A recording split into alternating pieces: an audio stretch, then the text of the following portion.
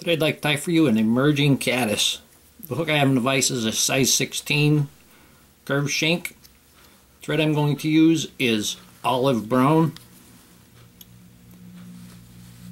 Going to put a base of thread down on the hook. Take it down around the bend a bit. This is a good fly to use when the trout are feeding on the emerging caddis. For the body, I'm going to use Deer Creek Super Select Seal Fur. This is Northern Lights, and it has sparkle in it. I'm going to wax my thread.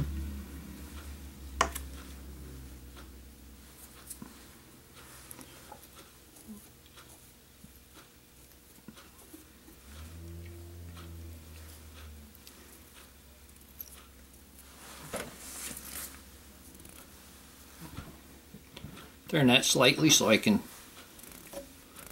dub it easier.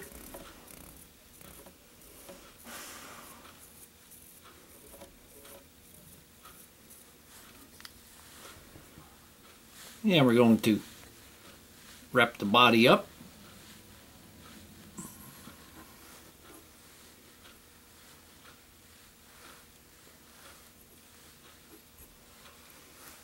We can use just a pinch more.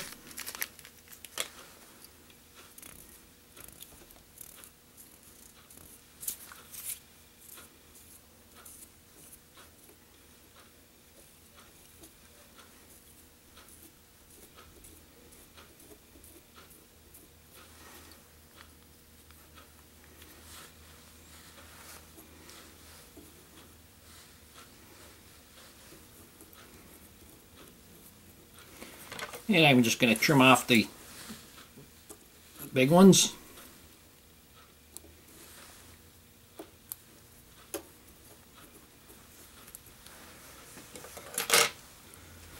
Now I have a piece of tan Swiss straw and I took it apart until I have like two sheets.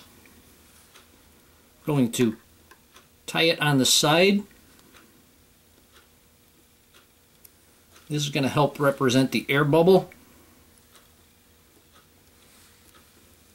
Oop, slid around on me.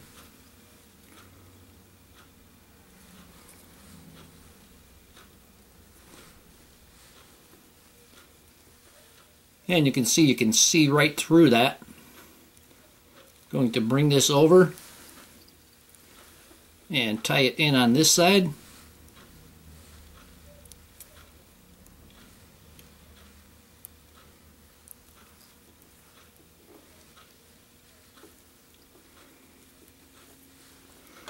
Now I'm going to take my scissors and I'm going to cut that.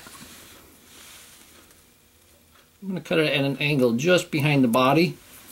I'm going to take the mallard, dyed lemon wood duck, and we're going to take about six of these or so. We're going to lay it down across the back. We're going to let that extend. We want this almost twice the length of the body.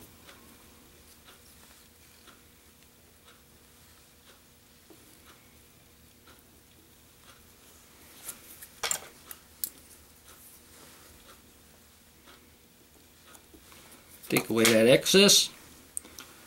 I'm going to take the partridge feather. I cut the tip out. I'm going to hold them down underneath. And tie them in. And they're going to be going alongside the Swiss straw. And down.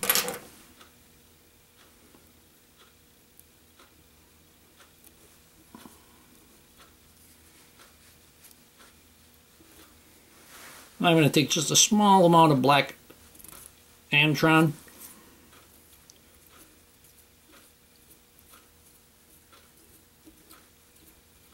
For the head.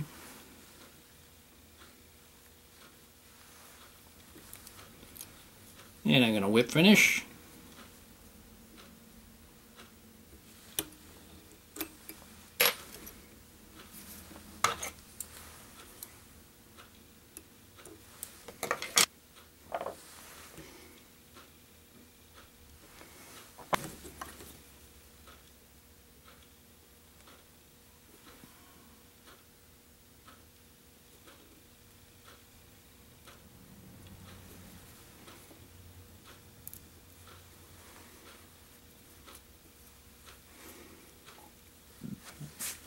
Here we have an emerging caddis.